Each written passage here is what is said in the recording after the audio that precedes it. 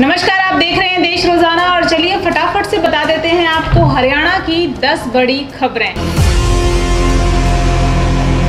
इस साल हम 75वां स्वतंत्रता दिवस मनाएँगे, इसलिए इस बार पूरा देश आज़ादी का अमृत महोत्सव मना रहा है, जिसे यादगार बनाने के लिए हर घर तिरंगा अभियान चलाया जा रहा है। इसी को देखते हुए हरियाणा सरकार भी सभी राशन डिपो पर तिरंगा मुहैया करा रही है, जिसकी कीमत मुख्यालय की तरफ़ से बीस रुपए तय की गई है। रोहतक के गाँव मायना के एक किसान परिवार में जन्मे बॉक्सर अमित पंघाल आज कॉमनवेल्थ गेम्स 2022 में अपना पहला मुकाबला खेलने जा रहे हैं, जो कि वानुआटू देश के बॉक्सर नामरी बेरी से होगा। अमित पहले भी कई अंतर्राष्ट्रीय प्रतियोगिताओं में देश को मेडल दिला चुके हैं, इसलिए इस बार भी देश को उनसे गोल्ड की आस है। हरियाणा के विधायकों को रंगदारी और जान से मारने की धमकी देने के मामले में हरियाणा एसटीएफ द्वारा बड़ी कार्रवाई करते हुए छह लोगों को गिरफ़्तार किया गया है। लगभग पंद्रह दिन चले इस ऑपरेशन में कई बातें सामने आई हैं, जिन मोबाइल नंबर से धमकी भरे कॉल्स किए जा रहे थे। उनके पाकिस्तान से ऑपरेट किए जाने का भी खुलासा हुआ है।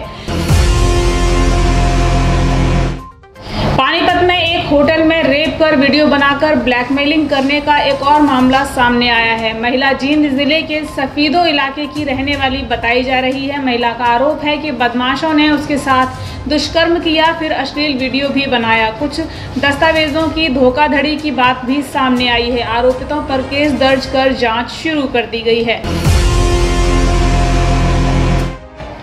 हरियाणा के परिवहन मंत्री मूलचंद शर्मा ने एक कार्यक्रम के दौरान कहा कि विकास के लिए सभी वर्गों को साथ लेना होगा। रविवार को परशुराम जन कल्याण समिति में कार्यक्रम के दौरान उन्होंने ये बात कही। उन्होंने भगवान परशुराम की प्रतिमा का अनावरण किया और समिति को 11 लाख रुपए अनुदान की राशि की घोषणा की।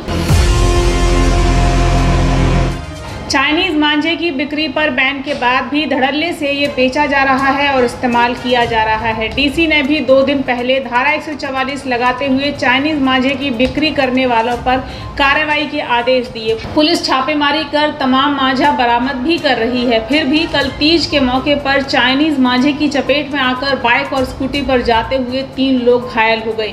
बताया जा रहा है कि मांझे की तेज रगड़ से बाइक सवार युवकों की गर्दन पर गहरे घाव हुए, जिसके बाद उन्हें उन्हें इलाज के लिए जाना पड़ा।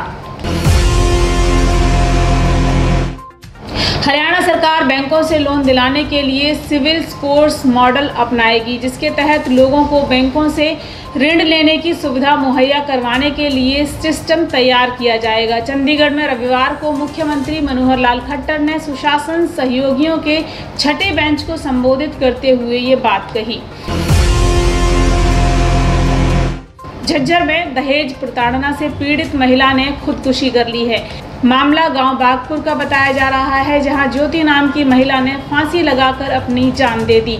लगातार ससुराल वाले दहेज के लिए मांग कर रहे थे। ज्योतिन की दो बेटियाँ हैं। मृतका के परिवार की शिकायत पर ससुराल वालों के खिलाफ दहेज का मामला दर्ज कर लिया गया है। आदमी तो छोड़िए, सरकारी विभाग भी टैक्स समय पर नहीं चुकाते। जी हाँ, हरियाणा के सरकारी विभागों पर प्रॉपर्टी टैक्स का करीब 20 करोड़ रुपए बकाया है। तमाम नोटिस भेजने के बाद भी टैक्स जमा न होने पर अब स्थानीय शहरी निकाय मुख्यालय से 100 फ़ीसद वसूली का फरमान जारी कर दिया गया है। एसटीएफ ने लाखों की हीरोइन के साथ दो लोगों को गिरफ़्तार किया है, जो दिल्ली के उत्तम नगर से पंजाब जा रहे थे। ये गिरफ्तारी रोहतक के प्रेम नगर चौक के पास हुई है। इस दौरान पुलिस ने आरोपियों की तलाशी के वक्त 317 ग्राम हेरोइन बरामद किया है। दोनों आरोपियों को रविवार को ही अदालत में पेश किया गया, जिसके बाद रिमांड पर भेज दिया गया है। तो ये थी हरियाणा की 10 बड़ी खबरें। फिर होंगे हाजिर कुछ नया, कुछ खास लेकर। देखते रहिए देश रोज़ाना।